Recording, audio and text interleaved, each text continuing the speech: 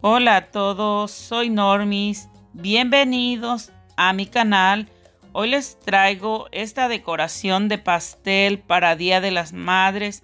Es un pastel de tres leches en chantilly, muy fácil de realizar. Les invito a que se queden a ver el video.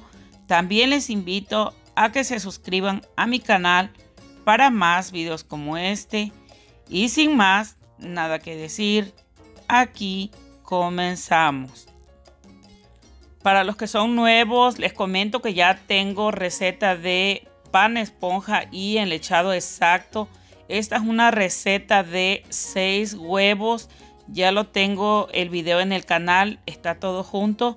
Pero en esta ocasión la estoy poniendo en un molde de 7 pulgadas. Aquí les dejo en centímetros, ya que esta receta siempre la pongo en un molde de 8 pulgadas redondo. Pero esta receta cabe aquí en este cuadrado o ya sea molde redondo. Ya termino y limpio. Ahora sí, vamos a decorar la parte de arriba. Yo estoy usando este cake topper que por lo regular trae su palito y trae un plastiquito que hay que quitárselo. Yo lo uso de esta forma, también igual puede ser paradito. Les dejo el enlace en la cajita de información, ya que muchas cosas yo las compro en AliExpress. Tardan mucho en llegar, pero también puede conseguirlas en Amazon. Aquí ya le quito el palito y el plastiquito y se lo coloco arriba Trato de poner primero el cake topper y así me doy cuenta dónde voy a poner los detalles de los rosetones. Aquí lo primero que hago es empezar a poner los rosetones en las esquinas. Yo estoy usando la Duya 863 de marca Ateco y también voy a usar la Duya 2D de marca Wilton. Si usted solo tiene la Duya 2D o 1M de marca Wilton, igual le sirve. Solo hágale diferentes diseños y le va a quedar muy lindo. Yo pinté el chantilly con color rosa, pero igual puede ser de diferente color. Hay veces que yo les he dicho que usen color rojo si no tienen color rosa. Igual queda bonito, le van poniendo de a poquito. Bien, aquí ya miraron, le estoy poniendo alrededor y le estoy poniendo florecitas.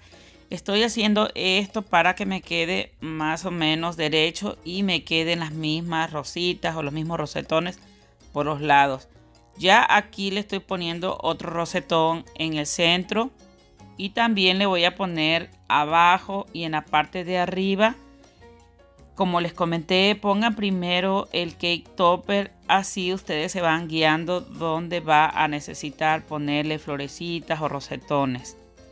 Este pastel es muy sencillo, yo lo hice para regalar para Día de las Madres. Ya saben que nosotros los mexicanos o los hispanos celebramos el día 10 de mayo, pero yo les deseo feliz Día de las Madres cualquier día que ustedes celebren y muchas gracias por todo su apoyo. Yo les deseo lo mejor, que se la pasen súper bien con su familia y que no solo celebren el Día de las Madres, sino todos los días. Bien, aquí ya le voy a poner estas bolitas color doradas que son chocolatitos y los conseguí en Walmart y ya solo voy poniendo en cada rosetón. También tengo estos corazoncitos, ya antes se los había compartido. Quedan muy lindos en los pasteles y no solo para esta ocasión, sino para cualquier ocasión. También antes les compartí unos círculos chiquitos que decían Best Mom Ever. Y también eso los pueden conseguir en caso que no consigan los cake toppers. Pero estos por lo regular son muy económicos y yo les dejo el enlace. Ya le estoy poniendo aquí en las dos esquinas. También puede ponerles mariposas. También puede poner dos colores de chantilly o el que usted quiera o más. Pero aquí yo solo le puse un solo color y ya le voy a poner el bordito de abajo.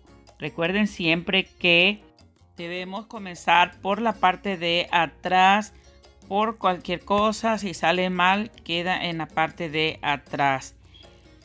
También aquí les muestro, es de tres leches el pastel y yo lo dejé enlechado desde en la noche y también cuando lo estaba decorando le estaba saliendo leche y lo dejé que se escurriera una media hora pero no se preocupen no va a quedar seco su pan va a quedar bien lechosito.